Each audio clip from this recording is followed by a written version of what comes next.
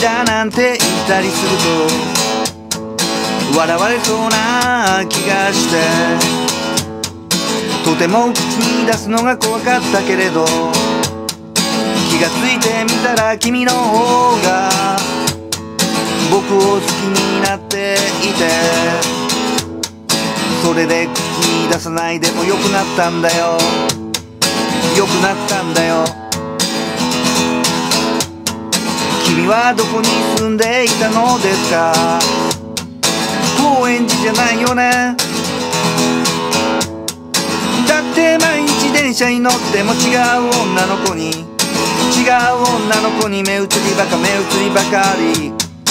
それで電車に乗るたびにそれで電車に乗るたびにいつもいろんな女の子に売られていたんだ。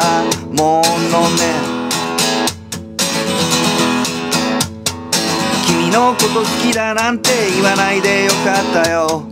電車は今日も。電車は今日も。走ってるものね。